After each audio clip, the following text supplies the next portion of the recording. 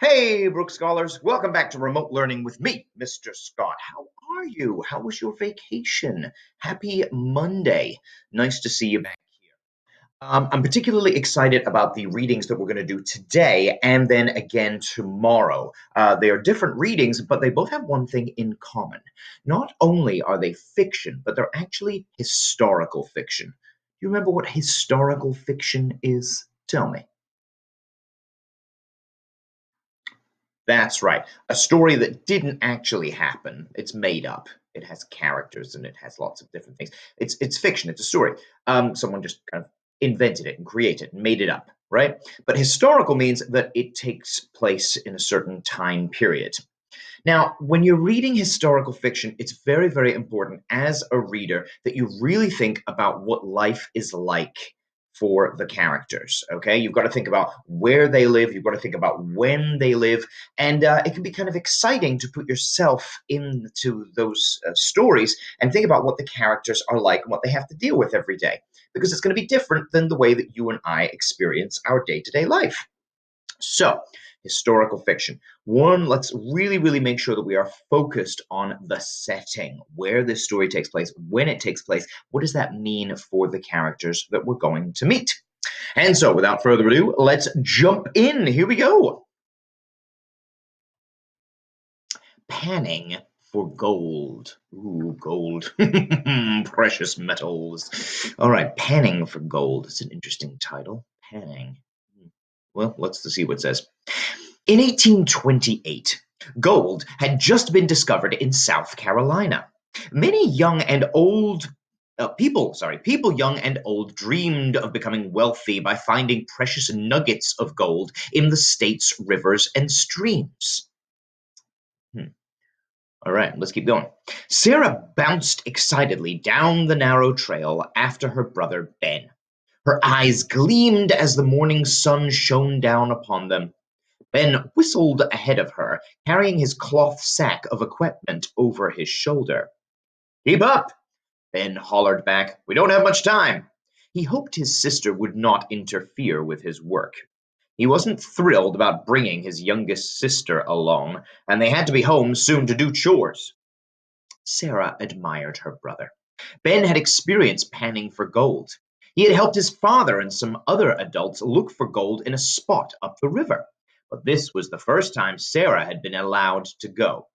Even though Sarah was excited, part of her feared that she would that she may not be cut out for panning. Holding up her long skirt, Sarah eagerly caught up with Ben. Thoughts of glittering, gleaming gold filled her head. Soon they reached the place where Ben had chosen to start panning. He put down his sack and spread the supplies on the ground.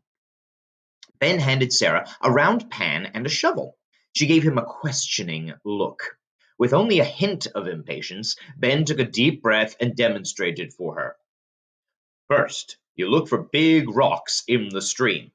Maybe there will be a place where the water slows down and flows lightly over the rock.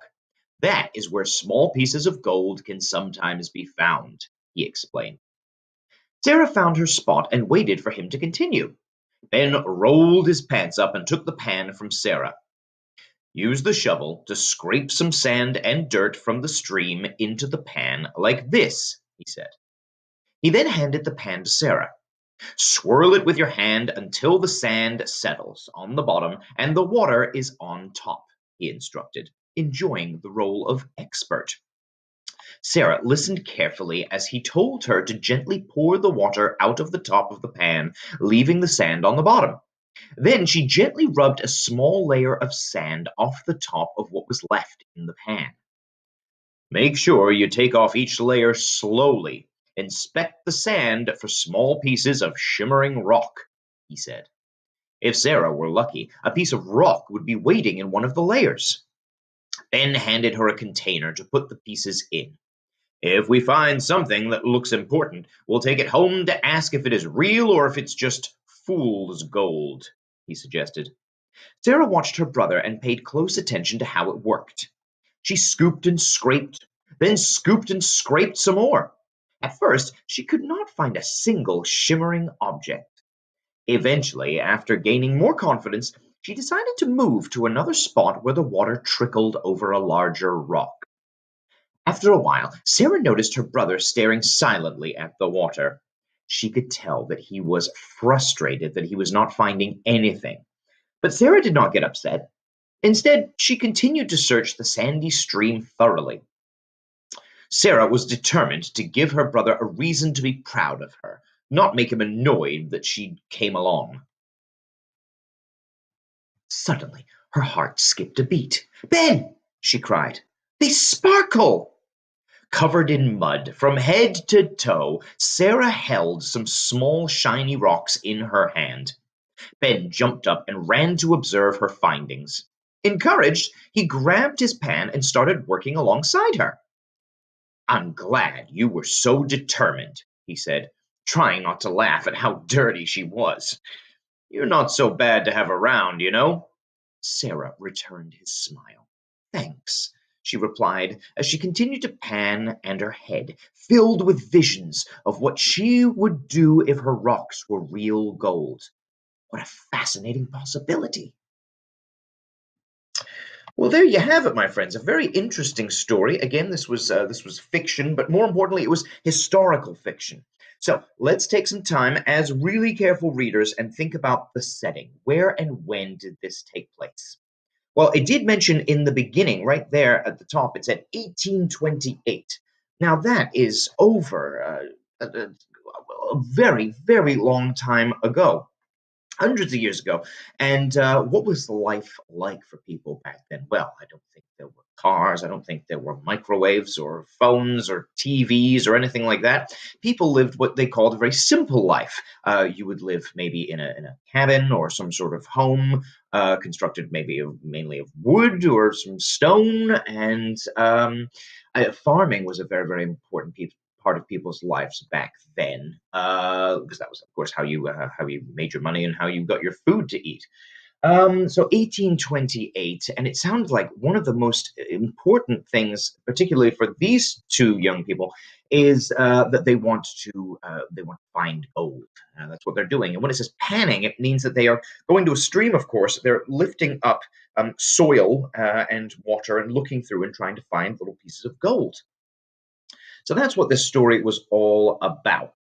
So, okay, let's think about who we have here. Sarah, younger sister, uh, and then Ben is the older brother. And they leave their home uh, and they go off to a stream. Um, and uh, that's what they're doing. They're panning for gold. They're trying to find little pieces of gold that then, of course, they can sell, and you know, she can. they can both buy whatever they want.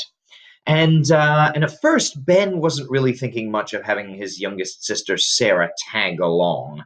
Uh, he was kind of frustrated. You know, he's walking ahead of her. She's trying to keep up behind him, maybe slowing him down. He then needs to explain the process of what you actually have to do when you're panning for gold, what you do with all of the tools that he carries in kind of like a kind of a bindle and stick sort of situation there. Um, so, uh, so he's explaining to Sarah and uh, and letting her know what to do, uh, and then she's really excited because she she really wants to find uh, some gold uh, and really wants to make her brother feel, you know, proud of her. So uh, this continues for a little while, and eventually Ben gets particularly frustrated. It, it, explained that he was staring at the water, and he was really unhappy with the fact that he couldn't find any gold.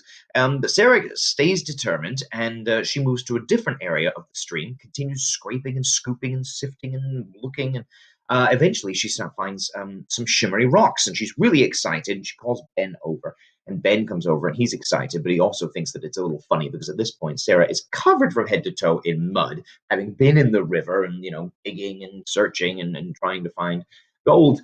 Uh, and it doesn't say at the end there whether it's whether it's going to be real gold and they're going to you know earn some money by selling it, or if it's what they call fool's gold, um, which I think is um, it's stone, uh, a type of stone that looks very much like gold, but actually isn't. It doesn't have the same value to it. So um, that's kind of where they leave it. You know, I love that last line. Imagine the possibilities, uh, exciting possibilities. So yeah, it could be something um, that is that has a lot of money, and they can take it and they can sell it, and uh, that's that. It's a good thing we were stopping and thinking about that story, my friends, because now we are both, you and I, prepared for the questions at the bottom of the page. So your job, as always, get yourself a pencil and paper. I'm going to ask you to write your name, the date, the title, Panning for Gold, right there in the middle. Remember how we did that? Yeah, yeah, good, good, good, good.